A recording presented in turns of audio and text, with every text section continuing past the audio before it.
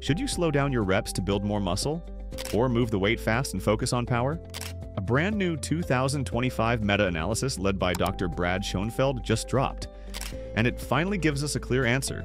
Today, we're breaking down what the study found, how it changes what we know about training tempo, and what you should actually focus on if you want to build muscle faster. This wasn't a single experiment. It was a systematic review of 14 controlled studies with a total of 278 participants. Every study compared different rep speeds.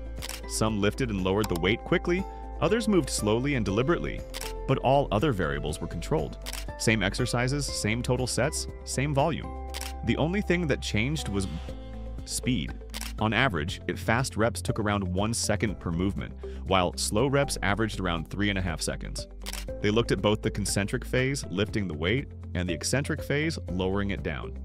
And to analyze everything, they used a Bayesian meta-analysis, which basically tells us how likely one tempo is to outperform the other, rather than just saying significant or not significant. So what did they find? Both fast and slow tempos built muscle effectively. In fact, the average muscle growth was almost identical. When compared directly, faster reps had a very small edge, but the effect was what scientists call trivial. The difference was 0.09, which is so small it's practically meaningless in the real world. In other words, whether you lift fast or slow, it doesn't make much difference for muscle growth, as long as you're training properly. The researchers didn't stop there. They wanted to see if tempo mattered more under certain conditions. When they looked at the lifting phase versus the lowering phase, the results were the same. No meaningful advantage for either fast or slow. When they compared upper body versus lower body, again, no difference. Fast reps didn't help arms more and slow reps didn't help legs more. There was one small nuance though. When people trained short of failure, slightly faster reps performed a little better.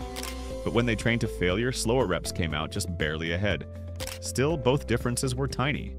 Not enough to change how you should train.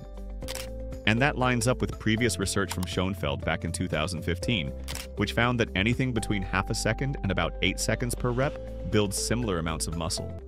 It's only when reps become extremely slow, more than 10 seconds long, that results start to drop off. So why doesn't slowing down make a big difference? It all comes down to mechanical tension, the amount of force your muscles produce under load. As long as the muscle is under enough tension and you're doing enough total work, your body gets the signal to grow. If you go too slow, you have to lighten the weight, which reduces that tension. If you go too fast, you might use momentum. So the real takeaway here? How quickly you lift matters less than how hard you train. Here's how to put this into practice. 1. Lift with control, not with a stopwatch. You don't need to count every second, I just move with purpose. A smooth 2 to 4 seconds down and about 1 second up is a good guideline. 2. Focus on effort. Training close to failure while keeping good form is what really drives muscle growth. 3. Mix tempos when it makes sense. Go slower when you're working on technique or joint control. Go faster when training for power or efficiency. 4. Avoid super slow reps.